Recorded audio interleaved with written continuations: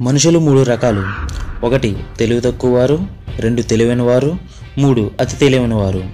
కానీ నేను ఇప్పుడు చెప్పబోయే వ్యక్తి మాత్రం అతి తెలివైన వాడు కంటే తెలివైన వాడు. ఆయనే ఆల్బర్ట్ ఐన్స్టీన్. అసలు ఈ పేరు వినని వారు ఉండరు. అసలు ఐన్స్టీన్ ఎవరు?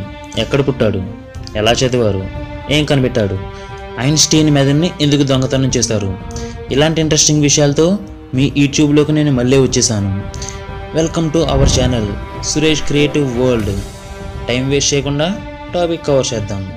ఆల్బర్ట్ ఐన్స్టీన్ మార్చి పద్నాలుగు పద్దెనిమిది వందల డెబ్బై తొమ్మిదిలో జర్మనీ దేశం ఉట్టెంబెగ్ రాజ్యంలోని ఉల్మ్లో జన్మించారు. ఈయన తండ్రి హెర్మన్ ఐన్స్టీన్ ఐన్స్టీన్ పుట్టినప్పుడు ఆయన తల కొంచెం వంకరగా ఉంది. అందుకని ఐన్స్టీన్ ఒక తెలివి తక్కువ వాడవుతాడని అనుకున్నారు వాళ్ళ తల్లిదండ్రులు. అంతేకాకుండా అందరి పిల్లల్లాగా మాటలు స్పష్టంగా వచ్చేవి కావు. దీనివల్ల ఐన్స్టీన్ భవిష్యత్తు ఎలా ఉంటుందో అని వాళ్ళ తల్లిదండ్రులు దిగులు పడేవారు. కానీ వాళ్ళు కూడా ఊహించి ఉండరు. సైన్స్ స్థితిగతులను మారుస్తాడని తెలివైన వాడు కంటే తెలివైన వాడు అంటే అతి తెలివైన వాడు అవుతాడని. తన స్టడీస్ని మ్యూనిచ్ అనే ఊర్లో ప్రారంభించాడు. తనకు ఆరేళ్ళ వయసు ఉన్నప్పుడు వయలిన్ వాయించడం నేర్చుకున్నాడు. ఆయన పన్నెండేళ్ళ వయసులోనే జియోమెట్రీని కనిపెట్టాడు. అంతేకాకుండా పదిహేడేళ్ళ నాటికి మ్యాథ్స్ మరియు ఫిజిక్స్లో వచ్చే ప్రాబ్లమ్స్ని సాల్వ్ చేయడానికి ఒక క్యాలిక్యులేషన్ రూపొందించాడు. వాటిలో ఉండే అన్ని ఫార్ములాస్ని అన్ని థియరీస్ని అవపోసన పట్టాడు. ఐన్స్టీన్ కుటుంబం పుట్టింది జర్మనీ అయినా వాళ్ళు యూదులు మరియు పేదవాళ్ళు అవడంతో ఇటలీ స్విట్జర్లాండ్ దేశాలకు మారారు.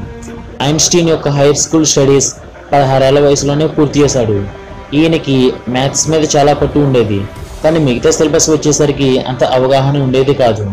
ఈ కారణం వలన స్విట్జర్లాండ్ జూరిచ్ అనే ఊరిలో ఫెడరల్ ఇన్స్టిట్యూట్ ఆఫ్ టెక్నాలజీలో చేయడానికి ఎంట్రన్స్ ఎగ్జామ్ రాశాడు. కానీ అందులో ఫెయిల్ అయ్యాడు.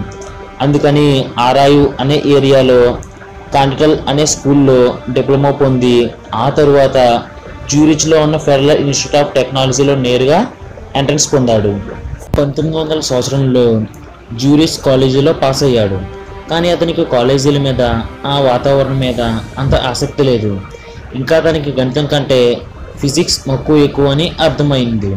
అందుకే చదువులకు పులి స్టాప్ పెట్టి ఫిజిక్స్లో పరిశోధనలు చేసుకుంటూ ప్రొఫెసర్గా స్థిరపడిపోవాలని అనుకున్నాడు. కానీ అన్నీ మనం అనుకున్నట్టు జరగవు కదా. అందుకే వారి పేదరికం కారణంగా పంతొమ్మిది వందల రెండులో బెర్లిన్లో ఒక పేటెంట్ ఆఫీస్లో ఇన్స్పెక్టర్గా జాయిన్ అయ్యాడు. ఈ ఉద్యోగం అతని జీవితాన్ని మలుపు తిప్పింది. ఫిజిక్స్పై ఇన్వెన్షన్స్ చేసేలా చేసింది. ఇప్పుడు ఐన్స్టీన్ ఏం కనుగొన్నాడో ఆయన ఆవిష్కరణలు ప్రపంచాన్ని ఎలా మరుపు తిప్పాయో తెలుసుకుందాం. Einstein refrigerator. ఈ రిఫ్రిజిరేటర్లో ఎటువంటి మూవింగ్ పార్ట్స్ ఉండవు. ఎటువంటి కరెంటు కూడా అవసరం లేదు. సరౌండింగ్స్ వేడిగా ఉంటే చాలు. ఆ వేడిని గ్రహించి కొన్ని గ్యాసుల సాయంతో ఇది కూలింగ్ చేస్తుంది. అంతేకాకుండా ఈ ఫ్రిడ్జ్ల వల్ల ఎటువంటి ఆరోగ్యానికి హానికరం ఉండదు. ముఖ్యంగా ఇది పేదవారి కోసం తయారు చేయబడింది. దీన్ని ఐన్స్టీన్ మరియు అతని శిష్యుడు జిలార్డ్ సహాయంతో కనుగొని పంతొమ్మిది వందల ముప్పై నవంబర్ పదకొండున పేటెంట్ పొందారు.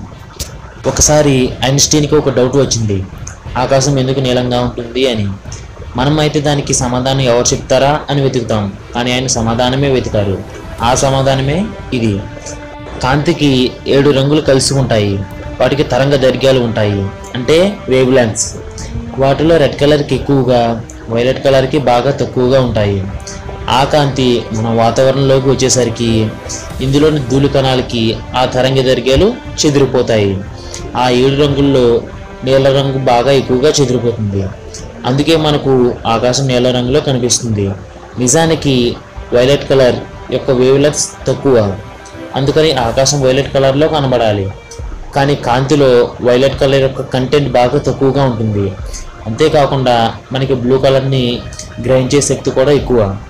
అందుకే ఆకాశం నీల రంగులో ఉంటుంది. ఎంత పెద్ద సైంటిస్ట్ అయినా వాళ్ళకు ఉండే పెద్ద కళ నోబెల్ ప్రైజ్.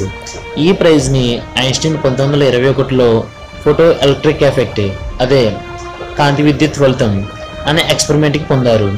ఈ ఇన్వెన్షన్ భౌతిక రంగంలో చాలా మార్పులు తీసుకొచ్చింది. అసలు ఈ ప్రయోగం ఏంటో ఎందుకో ఇప్పుడు చూద్దాం. కాంతి అణువుల రూపంలో ప్రయాణిస్తుందని మొదటగా న్యూటన్ చెప్పాడు. కానీ అది తప్పని కాంతి తరంగాల రూపంలో ప్రవహిస్తుందని వేరే సైంటిస్ట్ చెప్పాడు. ఆ తర్వాత ఐన్స్టీన్ కాంతిలో శక్తినిచ్చే ప్రోటాన్స్ ఉన్నాయని ఏదైనా మెటల్ బాడీ మీదుగా ప్రయాణిస్తే ఆ ఎలక్ట్రాన్స్ శక్తినిచ్చే ప్రోటాన్ అణువులుగా ఏర్పడతాయని. కాబట్టి కాంతి తరంగాలు ప్లస్ అణువుల రూపంలో కూడా ఉంటాయని నిరూపించారు. ఈ సిద్ధాంతం వల్ల solar power TV screens nuclear టెస్ట్లో చాలా ఉపయోగపడింది. ఇవే కాకుండా ప్రపంచంలో అత్యంత ఫేమస్ అయిన is equal to mc square equation the theory of relativity అంటే సాపేక్ష సిద్ధాంతాలను కూడా ఈయనే కనుగొన్నారు. అసలు is equal to mc square అంటే ఏంటి? ట్రైన్ ట్రావెల్ చేయడం సాధ్యమా? ద థియరీ ఆఫ్ రిలేటివిటీ అంటే ఏంటి? అటామిక్ బాంబ్స్లో ఐన్స్టీన్ పాత్ర ఉందా? ఇటువంటి విషయాలన్నీ కూడా పార్ట్ టూలో చూద్దాం. ఆ వీడియోని మీరు మిస్ అవ్వకూడదంటే వెంటనే ఈ ఛానల్ని సబ్స్క్రైబ్ చేసుకోండి. ఈ వీడియో మీకు నచ్చితే లైక్ చేయండి కామెంట్ చేయండి. ఇలాంటి మంచి వీడియోస్ మరియు ఇంట్రెస్టింగ్ వీడియోస్ ఇంకా కావాలా? అయితే ఏం ఆలోచించకండి. వెంటనే ఈ ఛానల్ని సబ్స్క్రైబ్ చేయండి. మీరు సబ్స్క్రైబ్ చేసిన తర్వాత దాని పక్కన ఉన్న బెల్ బటన్ని ప్రెస్ చేయడం మర్చిపోకండి. అండ్ థ్యాంక్స్ ఫర్ వాచింగ్ మీ ఫీడ్బ్యాక్ని ఈ జీమెయిల్కి పోస్ట్ చేయండి.